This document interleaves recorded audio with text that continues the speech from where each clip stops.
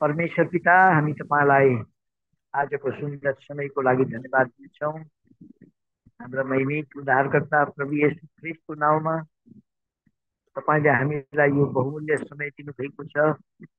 धन्यवाद छ। अब हामी यो श्रेष्ठ गीत पहिलो अध्यायको चौथो पदमा जसको रहेको भागमा ध्यान गर्न गइरहेका छौँ।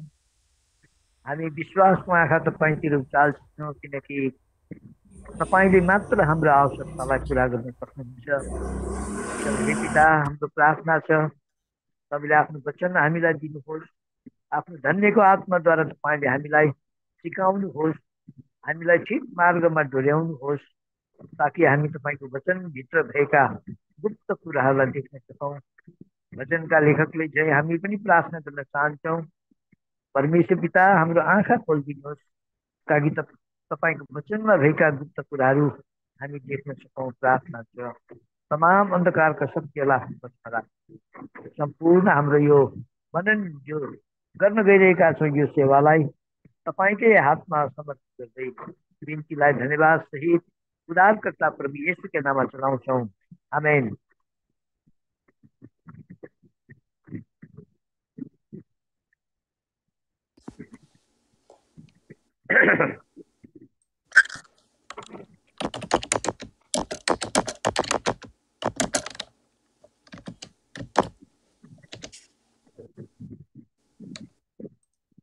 अब हामी श्रेष्ठ गीत एक अध्यायको चार पदलाई फेरि एकपल्ट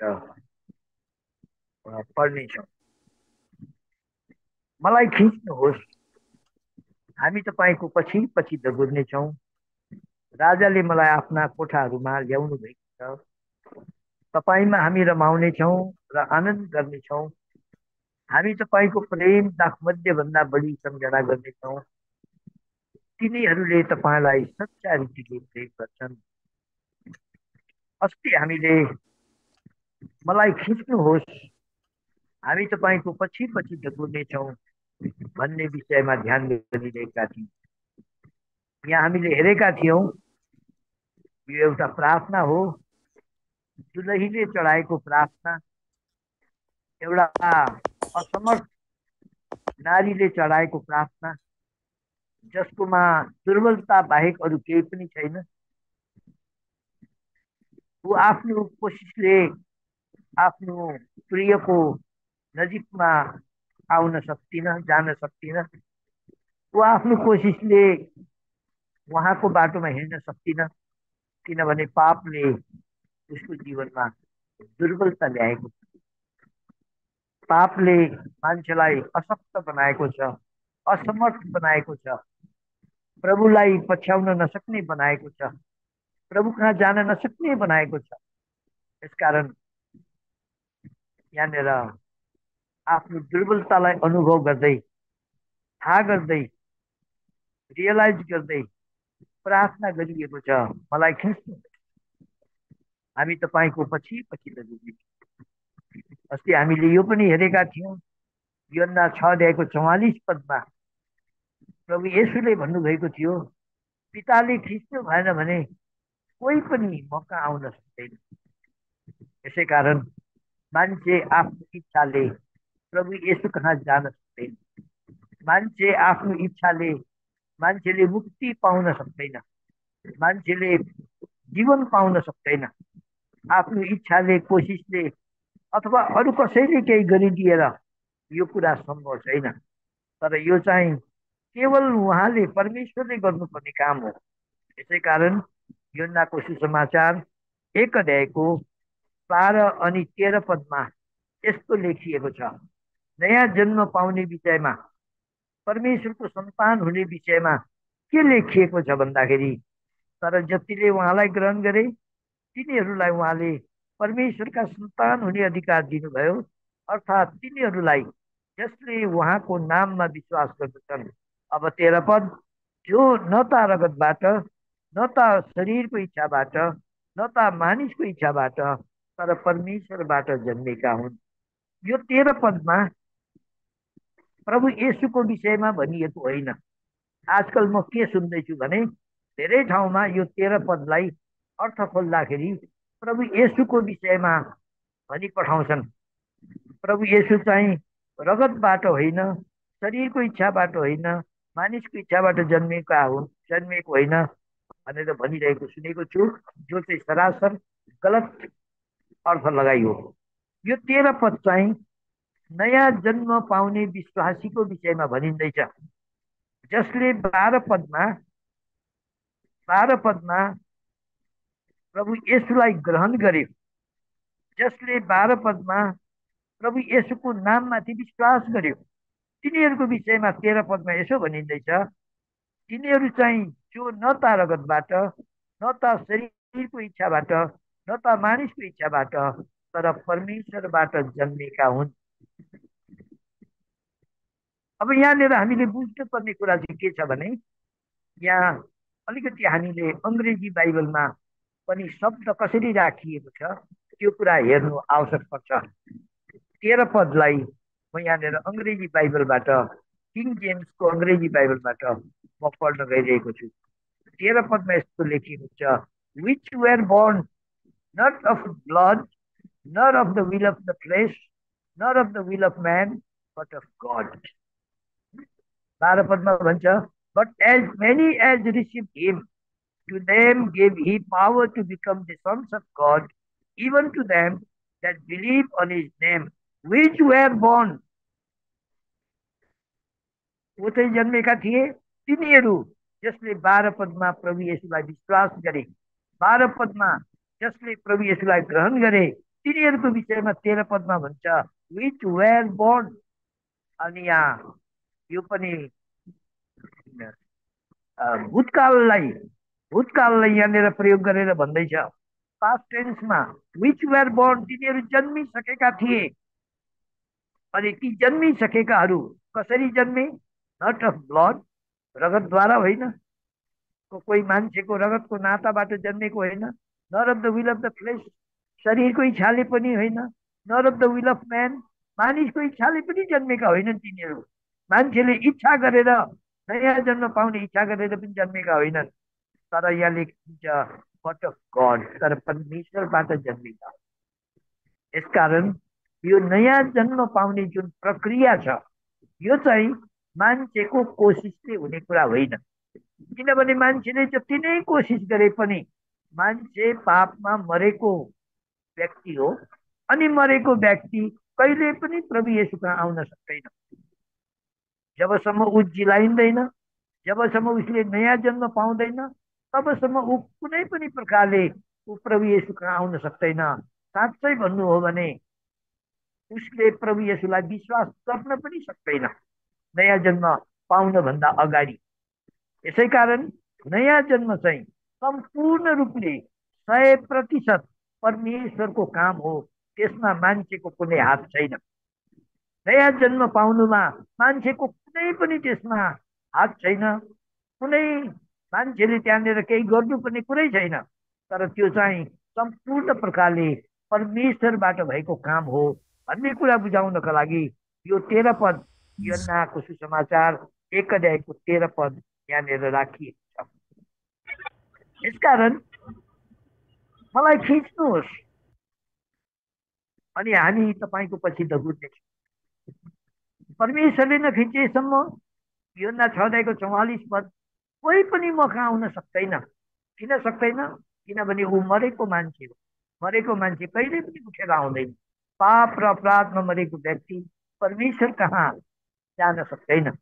तर त्यो व्यक्ति जिलाइनुपर्छ पहिला त्यो व्यक्तिले नयाँ जन्म पाउनुपर्छ पहिला पवित्र आत्माद्वारा उज्जीवित पारिनुपर्छ त्यसपछि ऊ प्रभु यसु कहाँ आउँछ अनि त्यसपछि मात्र उसको जीवनमा उद्धारको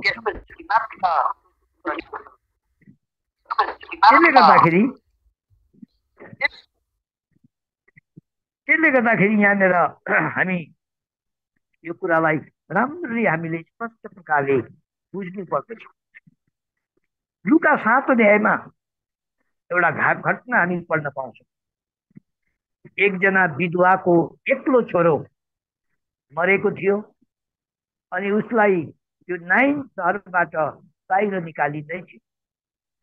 अनि अर्कोतिरबाट प्रभु यसु भिडसँग त्यहाँ आइरहनु भएको थियो। त्यो नाइन सहरको विधवाको जवान मरेको छोरो मरेको छ ऊ। ऊ त आफ्नो उसलाई त बरियल ग्राउन्डतिर गाड्ने ठाउँतिर लगिँदैछ। ऊ त प्रभु यसो कहाँ आउन सक्दैन? उसले जीवन पाउन सक्दैन आफ्नो इच्छाले आफ्नो प्रयासले। तर प्रभु येसु आफै त्यहाँ आउनुहुन्छ अनि प्रभु येसुले नै काम सुरु गर्नुहुन्छ। त्यो जवान केटाले काम सुरु गरेको होइन नयाँ जन्म पाउने काम। तर प्रभु यसुले काम सुरु गर्नुहुन्छ। उहाँले त्यो डेड बडी बोकेर लगिरहेको त्यो कफिन बक्सलाई छुनुहुन्छ अनि त्यो बोक्रीहरू टक्क त्यहाँ अडिन्छन् अनि प्रभु येसुले त्यो जवानलाई भन्नुहुन्छ हे जवान उठ! अनि त्यो जवान जुरुक्क मरेको जवान जुरुक्क उठ्छ अनि प्रभु येसुले त्यो जवान उसकी आमालाई विधवा आमालाई जिम्मा दिनुहुन्छ। यहाँनिर पनि हामी के देख्छौँ भने परमेश्वरले नै काम सुरु गर्नुपर्छ मान्छेले काम सुरु गरेको होइन। काम चाहिँ परमेश्वरले सुरु गर्नुहुन्छ अनि मात्र मान्छेले नयाँ जन्म पाउँछ। अब यहाँनिर प्रश्न पनि आउँछ। प्रश्न के आउँछ भने होइन हामीले विश्वास गरेर नयाँ जन्म पाएको हो नि। हामीले वचन सुन्यौँ। अनि विश्वास गऱ्यौँ त्यसरी नयाँ जन्म भएको हो नि भन्ने तर्क पनि मान्छेले प्रस्तुत गर्छन्। वचनको प्रकाशमा त्यो चाहिँ हामी के देख्छौँ भनेदेखि परमेश्वरले परमेश्वरले आफ्नो वचनलाई एउटा माध्यमको रूपमा प्रयोग गर्नुहुन्छ अनि परमेश्वरको वचन र पवित्र आत्मा कार्यद्वारा कुनै पनि मान्छेको जीवनमा नयाँ जन्मको काम हुन्छ तर त्यो मान्छेले विश्वास गरेर अथवा इच्छा गरेर प्रभु कहाँ आएर उसले नयाँ जन्म पाएको होइन। तर उसले वचन सुनिरहेको थियो। वचन सुन्दा सुन्दै पवित्र आत्माले उसको जीवनमा उसको उभित्र नयाँ जन्मको काम गर्नुहुन्छ त्यसै कारण याकुबको किताबमा पत्रुसको किताबमा हामी के देख्छौँ भने नयाँ जन्मको बिउद्वारा जन्मिएको। वचनको बिउद्वारा नयाँ गरी जन्मेको भन्ने कुरा हामी याकुबको चिठीमा पढ्न पाउँछौँ। जब हामी नयाँ नियममा याकुबमा आइपुग्छौँ त्यहाँनिर अनि पत्रुसमा जब आउँछौँ त्यहाँनिर परमेश्वरको वचनद्वारा नयाँ गरी जन्मेको भन्ने कुरा सुन्छौँ वचन कसैले प्रचार गरिरहेको थियो उसले सुनिरहेको थियो त्यति बेला उसले केही गरेन तर पवित्र आत्माले ऊभित्र त्यो वचनलाई प्रयोग गर्नुभयो अनि उसलाई नयाँ जन्मको अनुभवमा ल्याउनु नयाँ जन्म पाएपछि मात्र त्यसपछि मात्र ऊ जिलाइएको हुन्छ अनि जिलाइएपछि उसले जीवनमा कतिवटा कुरा थाहा पाउँछ। यहाँ याकुब एक अध्यायको अठार पदमा के लेखिएको छ भने of his own will begat he us with the word of truth उहाँले आफ्नै इच्छाले हाम्रो इच्छाले होइन। प्रभुले आफ्नै इच्छाले हामीलाई सत्यको वचनद्वारा नयाँ जन्मको अनुभवमा ल्याउनु भएको छ। उहाँका सृष्टि गरिएका थोकहरूमा हामी एक प्रकारको पहिलो फल हौ भनेर उहाँले हामीलाई आफ्नै इच्छा अनुसार यो आफ्नै इच्छा चाहिँ हाम्रो इच्छा होइन है यो चाहिँ उहाँको इच्छा अनुसार उहाँले हामीलाई आफ्नै इच्छा अनुसार सत्यको वचनद्वारा जन्माउनु भयो त्यसमा हामीले केही पनि गरेनौँ कुनै कोसिस गरेनौँ। हामीलाई त उहाँले वचन सुन्ने मौका दिनुभयो। हामीले वचन सुन्यौँ अनि उहाँको धन्यको आत्माले वचनलाई प्रयोग गरेर हामीलाई नयाँ जन्मको अनुभव दिनुभयो। अनि जब हामीले नयाँ जन्म पायौँ तब हामीले धेरै कुरा थाहा पायौँ। हाम्रो अवस्था कति दुःख लाग्दो थियो कति डरलाग्दो थियो। हामी अनन्त विनाशमा गइरहेका मानिस थियौँ पापमा मरेका मानिस थियौँ। परमेश्वरका बैरी थियौँ शत्रु थियौँ यो सबै कुराहरू हामीले त्यति बेला थाहा पायौँ। नयाँ जन्म भएपछि अनि त्यसपछि चाहिँ हामी उहाँका आयौँ अनि हामीले उद्धार पायौँ। नयाँ जन्म र उद्धार एउटै कुरा होइन। नयाँ जन्म पहिला हुन्छ अनि उद्धार पछि हुन्छ। वचनको क्रम अनुसार अनि यहाँनिर हामी के देख्छौँ भनेदेखि यो मलाई खिच्नुहोस् भन्दाखेरि उहाँले खिच्ने काम गर्नुहुन्छ। उहाँले खिच्नुहुन्छ। अनि कसरी खिच्नुहुन्छ? परमेश्वरले भन्नुभएको छ होसेको किताबमा। होसे एघार अध्यायको चार पदमा प्रेमको डोरीले मैले खिचेको छु। हामी परमेश्वर कहाँ आयौँ भने प्रभु येसु कहाँ आयौँ भने उहाँद्वारा खिचिएर उहाँले प्रेमको डोरीले हामीलाई खिचेर आफू कहाँ ल्याउनु भएको छ? र हामी आफ्नै कोसिसले उहाँ कहाँ आएका होइनौँ आफ्नो प्रयासले आएका होइनौँ किनभने हामी उहाँ कहाँ आउन नसक्ने मानिस थियौँ भन्ने कुरा यहाँ हामी स्पष्ट गरी बुझ्न सक्छौँ। यहाँ लेखिएको छ म पढ्न गइरहेको छु मैले तिमीहरूलाई मानिसका डोरीहरूले अँ प्रेमका फित्ताहरूले खिचे प्रेमका फित्ताहरूले मैले खिचेँ मैले ताने मैले ल्याएँ। त्यसरी हामी उहाँ कहाँ ल्याइएकाहरू अब त्यसपछि अर्को कुरा हामीले अब जुन कुरा हेरिसक्यौँ त्यसलाई हामी दोहोऱ्याइ बस्दैनौँ। अब त्यसपछि हेर्न पर्ने कुरातिर हामी जान्छौँ। त्यसपछि के भनिएको छ भने राजाले मलाई आफ्ना कोठाहरूमा ल्याउनु जब उहाँले कसैलाई खिच्नुहुन्छ आफू कहाँ ल्याउनुहुन्छ तब उहाँले आफ्ना कोठाहरूमा ल्याउनुहुन्छ राजाको दरबारमा आम जनता भेला हुने आम जनताले खाना खाने जग्गा चाहिँ बगैँचाको चोकमा हुन्छ। त्यो कुरा हामी एस्तरको किताब एक अध्यायको पाँच पदमा पढ्न पाउँछौँ। एस्तरको किताब एक अध्यायको पाँच पदमा आम जनता भेला हुने ठाउँ अनि खाना खाने ठाउँको विषयमा लेखिएको छ। त्यसपछि अलिक स्पेसल गेस्टहरू अलिकति स्पेसल निम्तारुहरू अलिक भिआइपीहरू ठुला मान्छेहरू आउने ठाउँ छ। त्यसलाई चाहिँ भित्री चोक भनेर भनिएको छ।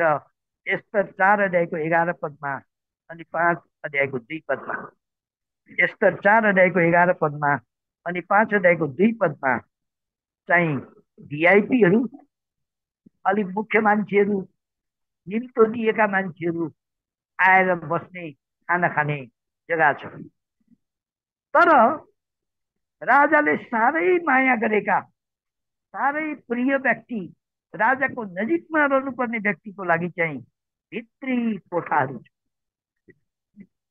राजाका कोठाहरू राजाको भित्री कोठाहरू छन् राजाले मलाई आफ्ना कोठाहरूमा ल्याउनु भएको किनभने राजाले प्रेम गरेको व्यक्ति हुने नि। राजाले आफ्नो नजिकमा राख्न चाहने व्यक्ति हुन नि। यसका यिनी भित्र आउँछिन्। कोठा चाहिँ कस्तो हो? भजन सङ्ग्रहका लेखकले सत्ताइस अध्यायको पाँच पदमा त्यो कोठाको विषयमा यसरी भन्छन्। भजन सत्ताइस अध्यायको पाँच पद भित्री कोठा। जानेर जानेर राजाले प्रेम गरेको व्यक्ति हामी त्यो पदलाई पनि पढ्न गइरहेका छौँ। सत्ताइस अध्यायको पाँच पदमा यसरी लेखिएको छ। किनकि विपत्तिको दिनमा उहाँले मलाई आफ्नो मण्डपभित्र लुकाइराख्नुहुनेछ। उहाँले मलाई आफ्नो वासस्थानको गुप्त स्थानमा लुकाउनु हुनेछ उहाँले मलाई चट्टानमाथि बसाल्नुहुनेछ। उहाँले मलाई आफ्नो वासस्थानको गुप्त स्थानमा लुकाउनुहुनेछ।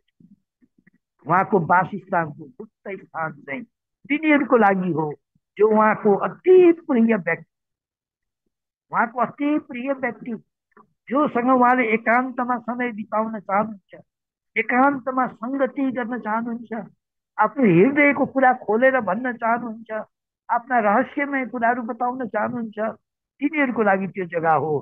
आफ्नो वासस्थानको गुप्त स्थान त्यसपछि भजनका लेखकले फेरि एकानब्बे अध्यायको एक पदमा पनि त्यो कोठाको विषयमा यसरी भन्छन्। त्यो कोठा राजाका को राजाको कोठा एक पद। हे प्रभु पुस्तादेखि पुस्तासम्म तपाईँ हाम्रा वासस्थान हुनुहुन्छ। त्यो वासस्थान त्यो गुप्त स्थान त्यो भित्री कोठा जानेर अब यहाँ राजाले मलाई आफ्ना कोठाहरूमा अब यो कोठामा के हुन्छ? यो कोठामा एकदमै भित्री गहिरो सङ्गति। राजाको र राजाले प्रेम गरेको व्यक्तिको। राजाको र त्यो प्रिय व्यक्तिको बिचमा गहिरो घनिष्ठ सङ्गति। त्यसै कारण मत्ती छ अध्यायको छ पदमा प्रभु येसुले के भन्नुभयो? जब तिमीहरू प्रार्थना गर्छौ तब भित्री कोठामा जाऊ अनि ढोका पुन अनि गुप्तमा देख्नुहुने परमेश्वरलाई प्रार्थना यो चाहिँ भित्री कोठाको सङ्गति उहाँसँग सङ्गति उहाँसँग बातचित गर्ने अनि त्यो भित्री कोठामा एकान्तमा जब हामी उहाँसँग नजिकको सङ्गतिमा हुन्छौँ त्यति बेला उहाँले आफ्ना दिलका कुराहरू आफ्ना हृदयका कुराहरू प्रेमका कुराहरू रहस्यमय कुराहरू हामीलाई बताउनुहुन्छ यसै कारण यहाँनिर हामी चार पदमा पढ्छौँ। राजाले मलाई आफ्ना कोठाहरूमा ल्याउनु अब अर्को ध्यान गर्नुपर्ने कुरा के छ भने एउटा कोठा होइन यो। कोठाहरू कोठाहरू च्याम्बर्स कोठाहरू एउटा कोठा अर्को कोठा अर्को कोठा थुप्रै कोठाहरू छन्। परमेश्वरसँग त कम्ती कुनै कुरा पनि सीमित छैन। कम्ती छैन थुप्रै छ। प्रभु येसुले पिताको घरको विषयमा कुरा गर्नुहुँदा पनि त्यसो भन्नुभएको थियो। मेरो पिताको घरमा धेरै बस्ने ठाउँहरू छन्। उहाँले त्यसो भन्नुभएको थियो मेरो पिताको घरमा धेरै बस्ने ठाउँहरू छ। योना चौध अध्यायको दुई पदमा in my father's house are many mansions मेरो पिताको घरमा धेरै वासस्थानहरू छन्। एउटा होइन, त्यसै कारण अब राजाको कोठाहरूमा आएपछि अर्को अचम्मको कुरा के देखिन्छ भने राजाको हरेक कोठा त कति सुन्दर छ। सुलेमान त्यस समयका सबैभन्दा बुद्धिमान मानिस थिए त्यस समयका सबैभन्दा बुद्धिमान मानिस थिए किनभनेदेखि पहिलो राजा चार अध्यायको उन्तिस पदमा लेखिएको छ। परमेश्वरले सुलेमानलाई सबैभन्दा बेसी बुद्धि दिनुभएको थियो। पहिलो राजा चार अध्यायको उन्तिस पदबाट म पढ्न गइरहेको छु। अनि परमेश्वरले बुद्धिमा सुलेमानलाई बुद्धि दिनुभयो। समशक्ति अत्यन्तै धेरै र एक फराकिलो हृदय समुद्रको किनारमा भएको बालुवा जत्तिकै। अनि सुलेमानको बुद्धि चाहिँ सबै पूर्वेली मानिसहरूको बुद्धि भन्दा र विश्वमा भएको सारा बुद्धि भन्दा बढी थियो। अनि त्यही सुलेमानले हितोपदेशमा लेख्छन् बुद्धिमान मान्छेको घर बहुमूल्य कुराहरूले सम्पत्तिहरूले भरिएको हुन्छ। हितोपदेश प्रोभव एक्काइसको बिचमा हितोपदेश एक्काइसको बिचमा बुद्धिमान मानिसको घरहरू चाहिँ बहुमूल्य कुराहरूले सम्पत्तिले भरिएको हुन्छ। एक्काइस अध्यायको बिस पदलाई हामी पढिरहेका छौँ यहाँ लेखिएको छ बुद्धिमानको घरमा चाहना गर्न लायकको संपत्ति र तेल पाइन्छ सुलेमान राजा त्यति बेलाका सबैभन्दा बुद्धिमान मानिस थिए।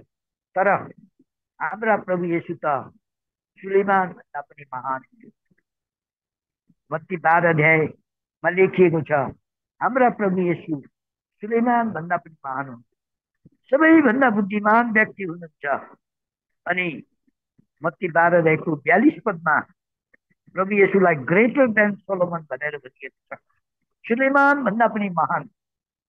बुद्धिमान सुलेमान भन्दा महान हाम्रा प्रभु येसु सबैभन्दा बुद्धिमान व्यक्ति अनि उहाँका, उहाँको घरमा त झन् कति धेरै संपत्ति छ। कति धेरै संपत्ति छ। कारण पावलले इफिसी तिन रहेको आठ पदमा खोजेर नसकिने ख्रिस्टको सम्पत्ति। भन्छन्। ख्रिस्टको सम्पत्ति चाहिँ खोजेर नसकिने सम्पत्ति। मान्छेले जति खोज्यो उति जति खोज्यो उति भेट्दै भेट्दै भेट्दै भेट्दै जान्छन्। कहिले खोजेर सकिँदैन। र यहाँनिर यो स्त्रीले त्यो कोठामा सुलेमानको कोठामा के देखिन् होला? यो कोठामा पस्यो। हिरा मोती बहुमूल्य पत्थरहरू सुन चाँदी बहुमूल्य कुराहरू सुन्दर कुराहरू त्यो कोठाबाट निस्केर अर्को कोठामा पस्यो। झन् अर्कै कुराहरू झन् सुन्दर कुराहरू झन् बहुमूल्य कुराहरू त्यो कोठाबाट निस्केर फेरि अर्को कोठामा पस्यो। झन् बढी कुराहरू झन् सुन्दर कुराहरू बहुमूल्य कुराहरू छक्क पार्ने कुराहरू खोजेर नसकिने सम्पत्ति। ख्रिस्टको खोजेर नसकिने सम्पत्ति कोठै पछि छक्क पार्ने कुराहरू अचम्मका कुराहरू अनि पहिलो परन्थी दुई अध्यायको नौ पढ्छौँ कानले नसुनेको आँखाले नदेखेको अनि चित्तमा नचलेको कुराहरू उहाँको घरमा त्यस्ता कुराहरू भरिएका हुन्छन् पहिलो परन्थी दुई अध्यायको नौ पद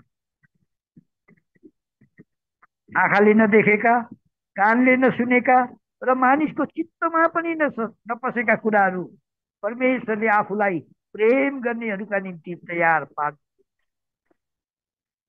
जब हामी उहाँको भित्री कोठामा ल्याइन्छौँ उहाँको कोठाहरूमा ल्याइन्छौँ अनि जब हामी उहाँसँग सङ्गति गर्न थाल्छौँ उहाँसँग नजिकमा बस्न थाल्छौँ तब हामीले आँखाले नदेखेका कुराहरू कानले नसुनेका कुराहरू हाम्रो चित्तमा नचढेको कुराहरू कल्पना नगरेका कुराहरू नसोचेका कुराहरू हामी उहाँको नजिकमा देख्छौँ पाउँछौँ अनि हामी आवाज बन्छौँ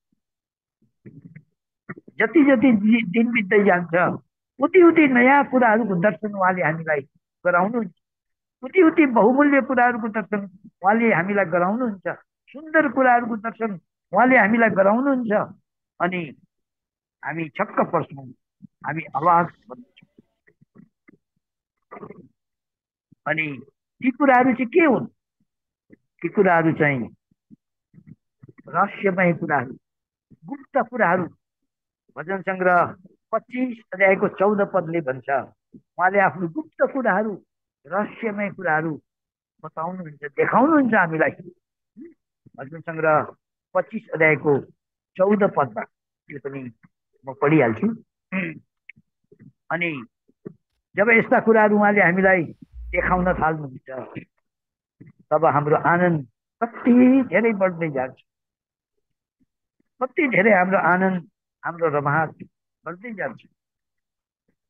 यहाँ लेखिएको छ परम प्रभुको रहस्य उनीहरूसँग रहन्छ। जसले उहाँको भय मान्दछन् अनि उहाँले उनीहरूलाई आफ्नो बाचा प्रकट गर्छ कसलाई जो चाहिँ उहाँको गुप्त स्थानमा उहाँका कोठाहरूमा उहाँको नजिकमा एकान्तमा उहाँसँग घनिष्ठताको सङ्गतिमा आउन चाहन्छन्। उनीहरूलाई उहाँले हरेक कोठामा नयाँ अनुभव नयाँ स्वर्गीय कुराको अनुभव स्वर्गीय सम्पत्तिको अनुभवमा उहाँले लिएर जानुहुन्छ त्यसको नतिजा के हुन्छ? त्यसको नतिजा त्यहीँनिर हामी पढिहाल्छौँ। के हुन्छ भनेदेखि तपाईँमा हामी रमाउने छौँ र आनन्द गर्ने किनभने तपाईँमा अरूमा होइन। तपाईँ हाम्रो मुहान हुनुहुन्छ। तपाईँ हाम्रो आनन्दको स्रोत हुनुहुन्छ। तपाईँमा हाम्रो मूल छ। आनन्दको मूल तपाईँमा छ। त्यसै कारण हामी यहाँनिर भजन सङ्ग्रहमा सतासी अध्यायको सात पदमा देख्छौँ हाम्रो मूल हाम्रो आनन्दको स्रोत हाम्रो आनन्दको मुहान तपाईँ हुनुहुन्छ अरू कोही पनि छैन। जब तपाईँले हामीलाई एकान्तमा सङ्गतिमा भित्री कोठामा जब हामीलाई यी सबै कुराहरू देखाउन थाल्नुहुन्छ तब हामी हाम्रो आनन्द बढेर जान्छ। हामी रमाउँछौँ सतासी अध्याय त्यसको सात हामी पढिन्छौँ। अनि गाउनेहरू र बजाउनेहरू दुवैले भन्ने छन् मेरा सबै धाराहरू तिमीमा छन्। मेरा सबै मुहानहरू आनन्दका मुहानहरू आनन्दका स्रोतहरू आनन्दका धाराहरू तिमीमा तपाईँ नै अनि त्यसपछि हामी नयाँ नियममा त पढ्छौँ जहाँनिर पावलले घरिघरि प्रभुका लोकहरूलाई भन्थे प्रभुमा आनन्द गर म फेरि पनि भन्छु आनन्द। अनि कहाँ छ यो आनन्द? यो आनन्द चाहिँ यो आनन्दको भरपुरी चाहिँ उहाँको उपस्थितिमा छ।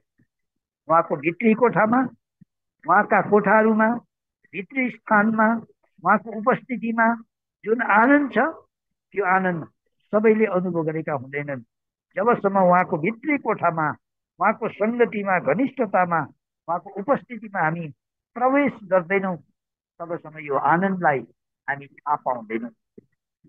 भजन सोह्र अध्याय एघार पद। तपाईँले मलाई जीवनको बाटो देखाउनुहुनेछ। तपाईँको उपस्थितिमा आनन्दको भरपुरी छ। तपाईँको उपस्थितिमा आनन्दको भरपुरी छ। आज संसारले प्रभुलाई छोडेर अरूतिर आनन्द खोज्छ कतिचोटि हामी प्रभुका लोकहरू पनि प्रभुलाई छोडेर संसारका थोकहरूमा संसारका एचिभमेन्टमा संसारको कति उपलब्धिमा हामी आनन्द खोजी पठाइरहेका हुन्छौँ। तर साँचो आनन्द भरपुरीको आनन्द सधैँभरि रमाउने आनन्द चाहिँ तपाईँको उपस्थितिमा मात्रै त्यसपछि हामी अन्तिम वाक्यमा ध्यान गर्छौँ अलिकति त्यो अन्तिम वाक्यमा के लेखेको छ भने हामी तपाईँको प्रेम दाख मधुभन्दा बढी सम्झना गर्नेछौँ। तिनीहरूले तपाईँलाई सच्चा रीतिले प्रेम गर्छन्। अब अर्को कुरा चाहिँ के हुन्छ भने तपाईँको प्रेमलाई दाखभन्दा बढी सम्झना गर्छ उहाँको प्रेमलाई सम्झना गर्ने कुरा आउँछ त्यहाँनिर। जब उहाँसँग एकान्तमा सङ्गतिमा हामी गुप्त कोठामा हामी लगिन्छौँ उहाँका कोठाहरूभित्र गएर उहाँको घनिष्ठतालाई अनुभव गर्छौँ। अनि उहाँले देखाउन चाहनुभएका उहाँको खोजी नसक्ने धन सम्पत्तिको विषयमा हामी दर्शन पाउन थाल्छौँ थाहा पाउन थाल्छौँ सिक्न थाल्छौँ। हाम्रो आनन्द बढेर जान्छ अनि हामी एउटा कुरा सम्झना गर्छौँ। तपाईँको प्रेम दास मध्यभन्दा बढी सम्झना गर्छ। तपाईँ र मलाई हाम्रा प्रभुले सम्झना गर्नु हरेक आइतबारको दिन बिहान जब हामी प्रभु भोजमा आउँछौँ त्यति बेला हामी सम्झना गर्छौँ। उहाँको प्रेमको बलिदानलाई उहाँको प्रेमको त्यागलाई उहाँले हामीप्रति गर्नुभएको प्रेमद्वारा उहाँले के गर्नु भएन? हाम्रो निम्ति के सहनु भएन? कस्तो दुःख उठाउनु भएन? ती सब कुराहरूलाई हामी सम्झना किनभने उहाँको प्रेम दास मध्येभन्दा महान छ दास मध्येभन्दा दास मध्येले क्षणिक आनन्द दिन्छ क्षणिक दुःख बिर्साउँछ क्षणिक बोझ मजा दिन्छ दास मध्येले क्षणिक तृप्ति दिन्छ तर प्रभुको प्रेमले उहाँको प्रेमले हामीलाई सधैँभरि रहने गरी तृप्त पार्छ सधैँभरि रहने आनन्द दिन्छ यसै कारण उहाँको प्रेमलाई हामी त्यसरी सम्झना गर्नेछौँ। त्यसपछि अन्तमा भन्छ तिनीहरूले तपाईँलाई रीतिले त्यसको मतलब प्रेम पनि सच्चा रीतिले गरिने अथवा आडम्बरी देखावटी प्रेम हुँदो रहेछ। परमेश्वरको वचनको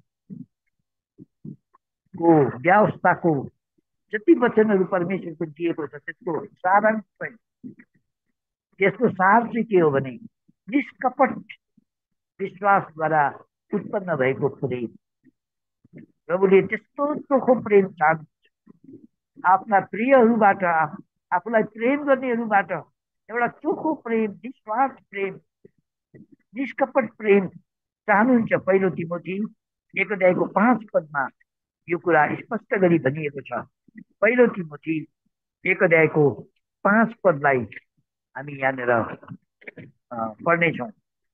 पहिलो तिमोथी एक अध्यायको पाँच पद। अब चोखो हृदय, असल विवेक र निष्कपट विश्वासबाटको प्रेम नै यस आज्ञाको उद्देश्य हो।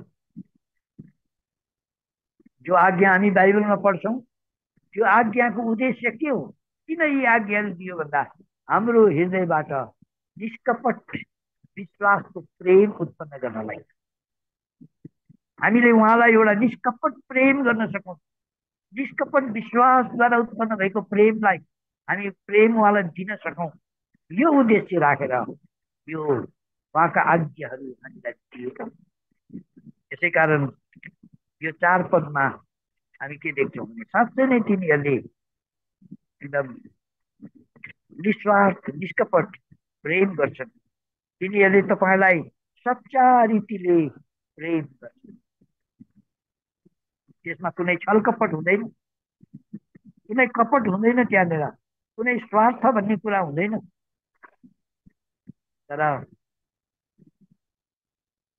स्वार्थपूर्ण प्रेम पनि संसारमा प्रशस्त छ संसारिक प्रेम त स्वार्थपूर्णै छ तर धेरैचोटि प्रभुका लोकहरूको बिचमा पनि त्यस्तो कुरा हामी स्वार्थ लुकेको प्रेम तर प्रभुले साँचो विश्वासीहरूबाट प्रेम निष्कपट प्रेम, स्वार्थ नलुकेको प्रेम इमान्दार हृदयबाटको प्रेम।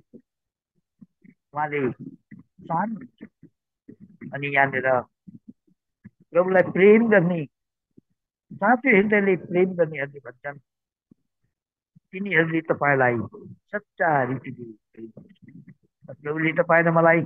सहायता गरौँ हामी उहाँलाई कसरी प्रेम गरिरहेका छौँ? के हाम्रो प्रेम निष्कपट छ? के निष्कपट विश्वासबाट उत्पन्न भएको प्रेम हामीले उहाँलाई दिइरहेका छौँ? उहाँले हामीलाई प्रेम गर्नुहुन्छ। यसकारण हामी उहाँलाई प्रेम गर्छौँ। पहिलो योजना चार अध्यायको उन्नाइस पदमा हामी त्यो कुरा पढ्छौँ। हामी उहाँलाई प्रेम गर्छौँ। किनभने पहिला उहाँले हामीलाई प्रेम गर्नुभयो तर यस्तो प्रेम उहाँले हामीबाट सधैँभरि चाहनुहुन्छ जुन प्रेम एकदम निष्कपट उहाँले जस्तो प्रेम हामीलाई गर्नुभयो त्यस्तै प्रेम उहाँले हामीबाट चाहनु पनि हामी उहाँलाई प्रेम गर्छौँ किनभने उहाँले पहिले हामीलाई प्रेम गर्नुभयो भनेर पहिलो योजना चार उन्नाइस पदमा लेख्नुहुन्छ यसकारण उहाँले प्रेम गर्नुभयो। र साटोमा उहाँले प्रेमको अपेक्षा गर्नुहुन्छ आशा गर्नुहुन्छ चाहना राख्नुहुन्छ।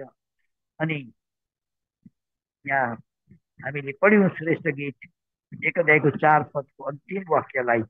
तिनीहरूले तपाईँलाई सच्चा रीतिले प्रेम प्रभुले तपाईँ र मलाई पनि त्यसरी नै सच्चा रीतिले निष्कपट प्रेम दिनका लागि सधैँभरि सहायता गरेका हामी आजको बन्धनलाई यहीँ नै राख्नेछौँ भोलि त्यसपछि अगाडि हामी बढ्नेछौँ। प्रभुले हामीलाई सहायता गरेका हुन्। सबैलाई जय मसी धन्यवाद।